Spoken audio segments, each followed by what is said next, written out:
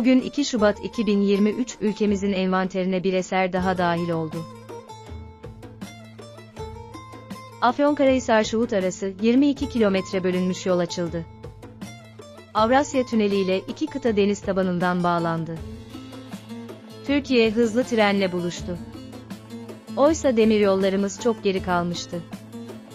Bugün hızlı tren ağımız altın çağını yaşıyor. Yüzyılın projesi olarak nitelendirdiğimiz Çanakkale 1915 köprüsüyle Çanakkale Boğazı artık 6 dakikada geçiliyor. Osman Gazi Köprüsü ile ulaşımda zirve yapıldı. Sadece Kıbrıs'a köprü yapılmadı. Gerçi o da yapıldı ama bir farkla. Mersin'den Girne'ye 107 kilometre uzunluğundaki boru hattıyla Anadolu suyu Kıbrıs'a ulaştırıldı. Daha yüzlercesi say say bitmez bu eserler son olarak bugün Afyonkarahisar Şuhut yolu hizmete alındı. Ulaşım alanında bir projenin daha sonuna gelindi. Afyonkarahisar Şuhut yolu bugün itibariyle hizmete girdi.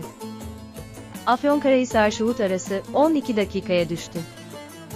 Vatandaşlarımızın hayır dualarını işitmek tüm yorgunluğumuzu almaya yetiyor, 30 kilometreyi bulacağını da sözlerine ekleyen Cumhurbaşkanı Erdoğan, karayolu yatırımlarında az bir eksiğin kaldığı döneme kavuştuklarını ifade etti. Vakitten 58 milyon, akaryakıttan da 18 milyon lira tasarruf sağlanacak. Erdoğan ayrıca, yoğun trafik inşallah daha konforlu, hızlı, güvenli şekilde işleyecek. Seyahat 27 dakika yerine 12 dakika sürecek. Bu projeyle vakitten 58 milyon lira, akaryakıttan 18 milyon lira, tasarruf sağlanacak egzoz salınımı 2200 ton azalacak. Dedi. Hamdolsun karayolu yatırımlarında pek az eksiğimizin kaldığı bir döneme kavuştuk.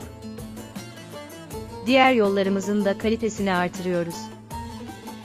Her yatırımımız gibi yol projelerimizin de ülkemize çok yönlü faydası var. Vatandaşlarımız bu yolları kullanarak sevdiklerine kolayca kavuşuyor.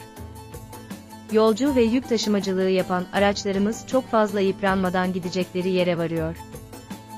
İster binek ister ticari araç olsun tüm şoförlerimizin kabusu olan dağları tünellerle deldik.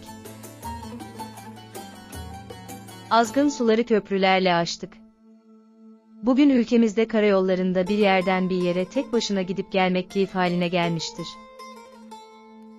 Türkiye'nin atılım projeleri YouTube kanalı olarak siz kıymetli takipçilerimize kucak dolusu sevgilerimizi gönderiyoruz.